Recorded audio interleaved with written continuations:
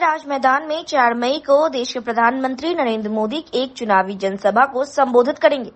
प्रधानमंत्री के आगमन की खबर के बाद यहाँ हलचल काफ़ी तेज हो गई है। पूरे राज मैदान में भव्य पंडाल और मंच का निर्माण का काम शुरू हो गया है। दर्जनों मजदूर तरह तरह की मशीन के साथ पंडाल और मंच निर्माण काम में लगे वहीं सुरक्षा व्यवस्था को लेकर लगातार पुलिस प्रशासन की टीम भी राज मैदान का दौरा करती दिखाई दे रही है।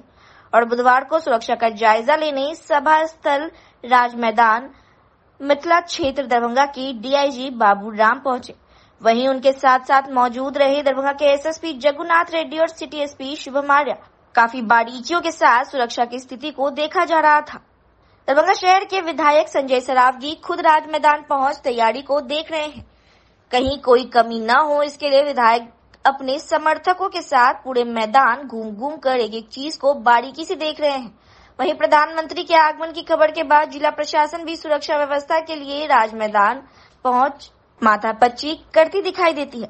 दरभंगा नगर के विधायक संजय सरावगी ने प्रधानमंत्री के आगमन को लेकर काफ़ी उत्साहित है साथ ही उन्होंने बताया कि मिथिला के पाहुन भगवान श्री राम को अयोध्या में राम जन्मभूमि में बने भव्य राम मंदिर में प्राण प्रतिष्ठा के बाद माता सीता की धरती पर प्रधानमंत्री आ रहे हैं ऐसे में मिथिला के लोग प्रधानमंत्री की एक झलक देखने और उन्हें सुनने को बेताब हैं। चार मई को दिन के एक बजे विश्व के सबसे लोकप्रिय नेता और देश के यशस्वी प्रधानमंत्री आदरणीय नरेंद्र मोदी जी का आगमन मिथिला की धरती पर ऐतिहासिक राज मैदान में होने जा रहा है।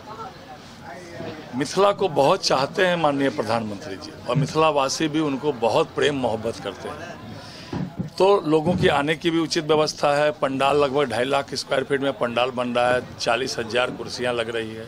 आम लोगों को इतनी कड़ी धूप में समस्या और दिक्कत नहीं हो, उसके लिए भी व्यवस्था हो रही है।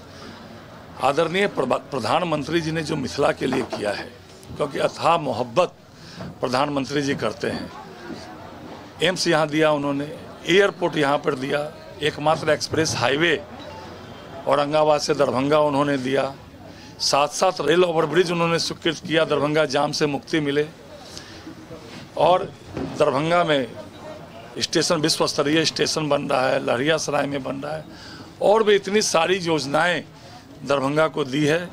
और सबसे बड़ी बात तो हमारे पाहुन को जो टेंट में थे, हमारे पाहुन को उन्होंने जो है 22 जनवरी को रामलला का प्राण प्रतिष्ठा मंदिर में कर दिया। भगवान श्री राम हमारे पाहुन हैं। मिथिला की बेटी है जनक जाननी मैया सीता। 500 साल से हमारे पाहुन जो है टेंट में थे। और आज 22 जनवरी को उन्होंने रामलला को, का प्राण प्रतिष्ठा किया। इससे और ज़्यादा मिथिला के लोग उत्साहित हैं। प्रधानमंत्री जी को देखना चाहते हैं, प्रधानमंत्री जी को सुनना चाहते हैं और वो घड़ी है चार मई को दिन के एक बजे। इसलिए आप लोग के माध्यम से हम लोग आम जनता को भी आमंत्रित कर रहे हैं कि आप आइए अपने लोकप्रिय नेता विश्व के सबसे लोकप्रिय नेता को सुनिए और आपके लिए उचित व्यवस्था जो है सरकार के माध्यम से हो कि हम लोग के माध्यम से हो यहाँ की गई है आपको कोई समस्या नहीं होगी। कितना प्रभाव डालें क्या उम्मीद है बीजेपी को आने के बाद? प्रधानमंत्री जी कहीं बोलते हैं तो पूरा विश्व पूरा देश सुनता है। और वो देश के किसी कोना में से भी बोले तो उनका पूरे देश पर प्रभाव पड़ता है। लेकिन जन, जन मिथिला की पुण्य भूमि दरभंगा से वो बोलने वाले हैं जनक जाननी मैया सीता की जन्मस्थली से बोलने वाले हैं और भगवान श्री राम का प्राण प्रतिष्ठा होने के बाद पहली बार मिथिला आने वाले हैं तो समस्त मिथिला से लेकर सीमांचल तक लोग उनके मिथिला के मुख्यालय में क्या बोलते हैं वो दरभंगा की बात बोलने वाले हैं। वो दरभंगा के मिथिला के विकास की बात बोलने वाले हैं। तो निश्चित रूप से एक बड़ा प्रभाव इस पूरे क्षेत्र में प्रधानमंत्री जी का होने वाला हमारा माछ पान और मखान जो मिथिला का है, मखाना के लिए उन्होंने इतनी बड़ी ब्रांडिंग कर दी कि पूरे विश्व में हमारा मखाना फैल गया। पूरे विश्व में जो है मखाना की डिमांड बढ़ गई। यहाँ रोज़गार का साधन सृजन हुआ है। इसलिए माननीय प्रधानमंत्री जी के इंतज़ार में मिथिला के लोग पलक पावड़े बिछाए हुए हैं कि कब प्रधानमंत्री जी आवें और इस ऐतिहासिक राज मैदान से वो मिथिला के और दरभंगा के लोगों को संबोधन करें। स्वस्फूर्त लोग आने वाले हैं। इस राज मैदान की क्षमता लगभग ढाई से तीन लाख लोगों की है। लेकिन हम लोग को लगता है कि इतने धूप में भी यह राज मैदान छोटा पड़ जाएगा, क्योंकि स्वस्फूर्त लोग आने वाले हैं। आम लोग उनको सुनना चाहते हैं, मिथिला के लोग उनको देखना चाहते हैं। मिथिला के लोग उनकी बानी को कर्ण प्रिय बानी से अपने को लाभान्वित करना चाहते हैं, इसलिए यह राज मैदान में उस दिन छोटा पड़ने वाला है। दरभंगा जिला के बहेड़ी थाना क्षेत्र अंतर्गत सिरुआ बेलगांव में भीषण आग लगने की घटना पिछले दिनों हुई थी। जिस आग लगी की घटना में कई घर जलकर राख हो गए थे और घर में रखे हुए सारे आवश्यक सामान भी आग में जलकर खाक हो गई थी। लेकिन आग लगी की घटना के कई दिन बीत जाने के बाद भी पीड़ित परिवारों को सरकार या प्रशासन की ओर से अभी तक कोई राहत नहीं मिली है।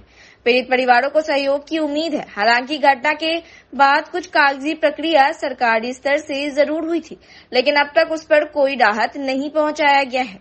ऐसे में आग लगी की घटना के बाद घर से बेघर हुए लोगों को आशियाने की आवश्यकता है। भोजन पानी की, भोजन पानी की आवश्यकता है। पीड़ित परिवार के लोगों का कहना था कि ना तो पानी लोगों को मिला है, न तो खाने की कोई व्यवस्था है। साथ ही बताया गया कि कुछ स्थानीय समाज सेवी लोगों के द्वारा थोड़ा बहुत मदद पहुँचाया गया है। तमाम घटना के संबंध में बताया जा रहा है कि 28 तारीख की यह घटना हुई थी, जिसमें बहेड़ी थाना क्षेत्र अंतर्गत सिरुआ बेलगांव में भीषण आग लगी की घटना सामने आई थी। जिसमें कई घर पूरी तरीके से जल गए थे। तमाम घटना के कई दिन बीत जाने के बाद जब मीडिया के लोगों ने पीड़ित परिवार से बात की तो इन लोगों ने कहा कि प्रशासन और सरकार की ओर से हम लोग उम्मीद लगाए हैं कि हम लोगों को खाने और पीने के लिए और आवश्यक चीज़ों की राहत पहुंचाई जाए। किचन चलाया जा रहा है इसके सहयोग से चलाया जा रहा है। ये 28 तारीख को अगलगी कांड हुआ।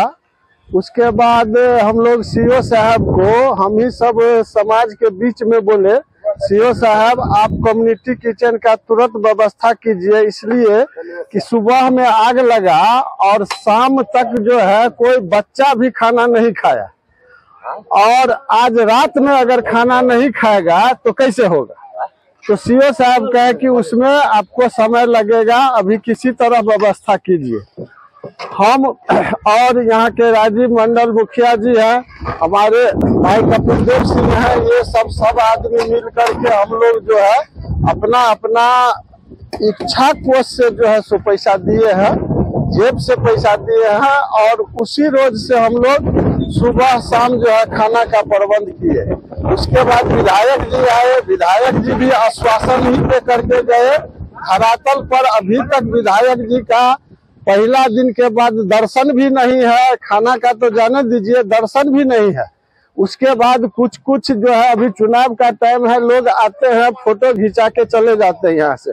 कितना तकलीफ़ का बात है, आप लोग को देख करके आँख में आँसू आ जाएगा। इस तरह का विपदा में लोग आता है और सेल्फी खिंचा के जाता है।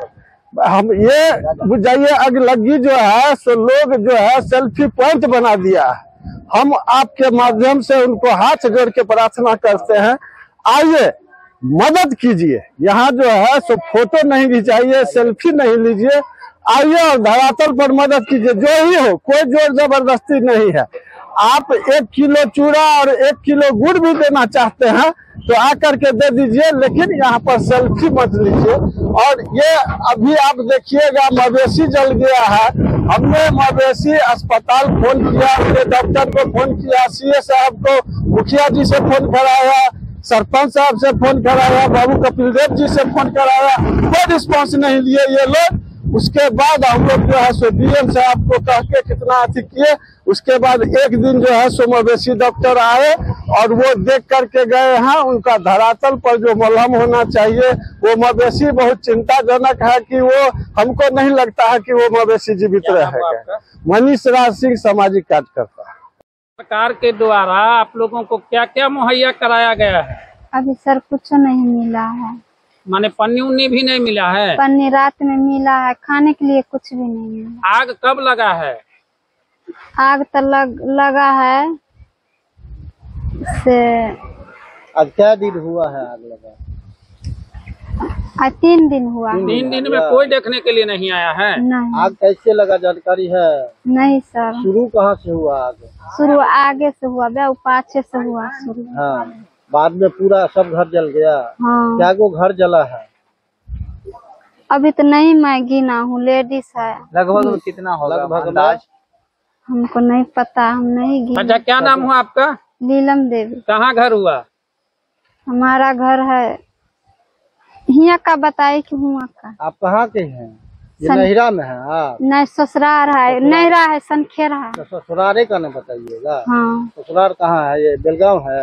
हाँ बेलगांव। बेलगांव पड़ता है ये। हाँ। तो आपके घर आपका भी घर जला है? हाँ सर है क्या क्या क्या क्या जल गया? अनाज बहुत था अंगना में वो भी जल गया कपड़ा लता सब जल गया घर द्वार सब जल गया। अभी अभी अभी जो रह रहे हैं कैसे रह रहे हैं? कोई सही अभी है यही में सो सोता है रात कर। हाँ, कोई पदाधिकारी आए थे? आया है सब लिख लाख के माने प्रखंड का वीडियो सीओ कोई आया है? आया था गया घूम कर। अच्छा कुछ मिला नहीं है आप लोगों को? क्या बोले? वो बोलता है हो जाएगा हो जाएगा। खाने पीने के लिए कोई व्यवस्था नहीं। नहीं। पति का क्या नाम है? अमरजीत सदा। क्या को घर है आपका?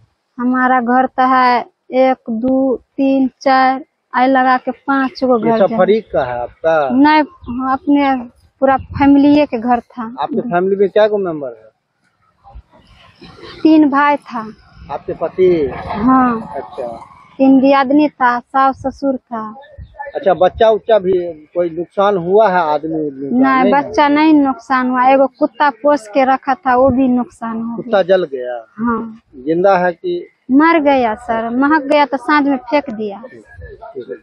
एक मई को इग्नू क्षेत्रीय केंद्र दरभंगा द्वारा गोद लिए गए गोडियारी ग्राम में जन जागरूकता कार्यक्रम का आयोजन किया गया, जिसमें इग्नू क्षेत्रीय केंद्र दरभंगा से क्षेत्रीय निदेशक डॉक्टर संतन कुमार राम, सहायक क्षेत्रीय निदेशक डॉक्टर आकाश अवस्थी, राजीव रंजन, मोमित लाल, प्रभाकर सिंह और प्रणव कुमार सिंह ने वृक्षारोपण और स्वच्छता अभियान में ग्रामवासियों संग भाग लिया।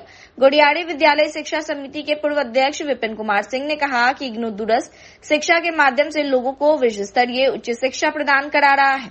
यह हमारे ग्राम पंचायत के लिए सम्मान का विषय है। कि उन्नत भारत अभियान के अंतर्गत इग्नू क्षेत्रीय केंद्र दरभंगा द्वारा ग्राम पंचायत गोडियाड़ी को गोद लिया गया है। ग्राम पंचायत गोडियाड़ी के मुखिया सुरेश प्रसाद सिंह ने कहा कि बच्चों के लिए शिक्षा सबसे महत्वपूर्ण अंग है। ग्राम गोडियाड़ी हर बार बाढ़ एवं सूखा से प्रभावित रहता है। जिसके कारण इस ग्राम पंचायत के लोगों को कई समस्याओं का सामना करना पड़ता है। इस ग्राम पंचायत में 10 से 15 गाँव स्थित है, जिनमें केवल एक ही 10 प्लस टू विद्यालय इस ग्राम पंचायत में स्थित है। कार्यक्रम में क्षेत्रीय निदेशक डॉक्टर संतन कुमार राम इस ग्राम पंचायत के लोगों एवं छात्रों से रूबरू हुए। उन्होंने वातावरण को सुरक्षित रखने एवं प्लास्टिक के दुरुपयोग से बचने के लिए कहा। उन्होंने छात्रों को इग्नू के बारे में सूचना प्रदान की एवं शिक्षा की मुख्य धारा से जुड़ने के बारे में बताया। इस मौके पर इग्नू क्षेत्रीय केंद्र दरभंगा द्वारा मध्य विद्यालय गोडियाड़ी के पुस्तकालय के लिए एनसीईआरटी की पुस्तक प्रदान की गई। सहायक क्षेत्रीय निदेशक डॉक्टर आकाश अवस्थी ने उपस्थित लोगों से मतदान करने की अपील करते हुए कार्यक्रम में सम्मिलित होने के लिए धन्यवाद ज्ञापन किया। विद्यालय के शिक्षक दिवाकर प्रसाद सिंह, इग्नू क्षेत्रीय केंद्र दरभंगा द्वारा आयोजित की गई जागरूकता कार्यक्रम की प्रशंसा की। आज के इस कार्यक्रम में गुडियारी ग्राम पंचायत के लगभग सौ से अधिक ग्रामवासियों ने भाग लिया। हृदय से धन्यवाद देना चाहूँगा कि आपने अपना बहुमूल्य समय, स्थान और संसाधन और अपने लोग हमें मुहैया कराए ताकि हम भारत सरकार की बात आप तक पहुँचा सकें। मैं यहाँ पे देख रहा हूँ कि आप लोग अपने अपने काम छोड़ करके यहाँ पे आए हुए हैं। तो मैं इसके लिए आप सभी का बहुत विनम्रता पूर्वक अभिवादन करता हूँ। इस समय बहुत भीड़ है। खेत से अभी आप लोग गेहूँ काटे होंगे, भूसा ढुआई हो रही होगी। मवेशियों के पानी चारा का सबका इंतज़ाम करना होगा। शादी ब्याह का सीज़न भी आ रहा है, उसमें भी लगन वगन भी होगी। उन सब काम में से आपने हमारे इस कार्यक्रम के लिए जो अगर कोई एस सी एस टी से छात्र है वह उनको फ्री पढ़ाने की सुविधा देता है तो आपकी नज़र में अगर ऐसा कोई व्यक्ति है जो इस कैटेगरी से वंचित तबके से बिलोंग करता है तो वह ग्रेजुएशन में एडमिशन ले सकता है। बाकी सभी के लिए खुला हुआ है। मैं इस कार्यक्रम के लिए आदरणीय शिक्षा समिति जो पूर्व में अध्यक्ष रहे हैं, विपिन जी, मैं उनका हार्दिक धन्यवाद करता हूँ। मैं गाँव के मुखिया आदरणीय सुरेश जी का धन्यवाद ज्ञापन करता हूँ। साथ ही जो यहाँ उपस्थित है, आपने अपना बहुमूल्य समय निकाला है, उन सबका धन्यवाद ज्ञापन करता हूँ। और इस देश के जो नौनिहाल है, जिनको आगे बिहार का, इस देश जिला एवं सत्र न्यायाधीश सह जिला विधिक सेवा प्राधिकार के अध्यक्ष विनोद कुमार तिवारी के निर्देशानुसार अंतर्राष्ट्रीय मजदूर दिवस के उपलक्ष्य पर अपर समाहर्ता एवं सत्र न्यायाधीश प्रथम रमाकांत की अध्यक्षता में जागरूकता कार्यक्रम का आयोजन एडीआर भवन में किया गया। कार्यक्रम को संबोधित करते हुए एडीजे रमाकांत ने कहा कि मजदूरों को भी मानवाधिकार का हक है। सरकार द्वारा समय समय पर उनकी मजदूरी का दर तय किया जाता है। तय दर से कम दर पर मजदूरी कराना मजदूरों का शोषण करने जैसा है। मजदूरों के कार्य करने का समय विधि भी तय है। काम के दौरान उनके साथ सही बर्ताव किया जाना चाहिए।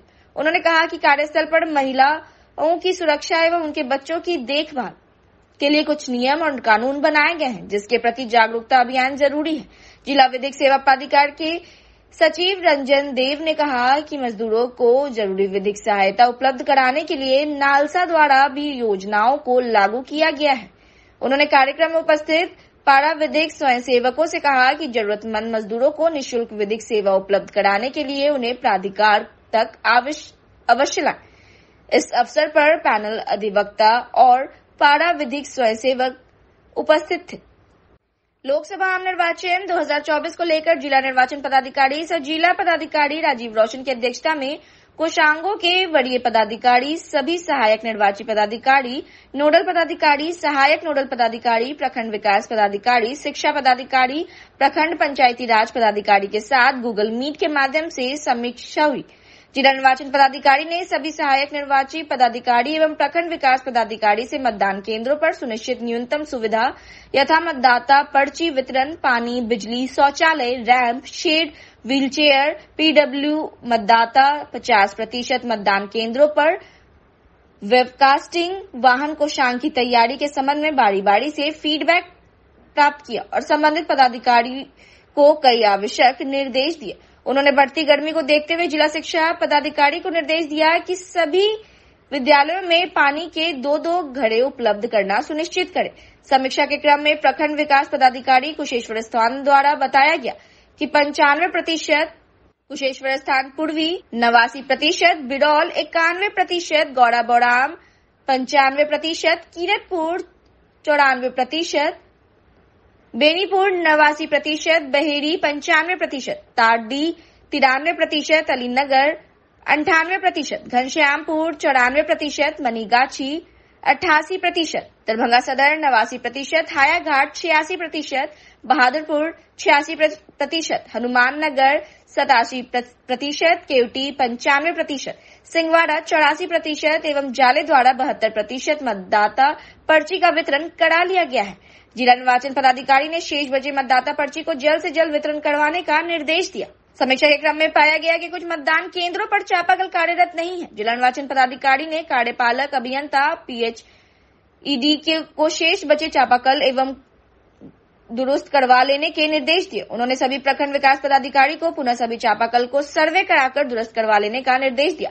सभी प्रखंड विकास पदाधिकारी द्वारा बताया गया कि वाहन को शांग का गठन कर लिया गया है, पेट्रोल पंप भी चिन्हित कर लिया गया है। उन्होंने कहा कि मतदान के दिन मतदाता की बैठने की व्यवस्था की जाए। जहाँ अतिरिक्त कमरा है, वहाँ प्रतीक्षालय बनाया जाए।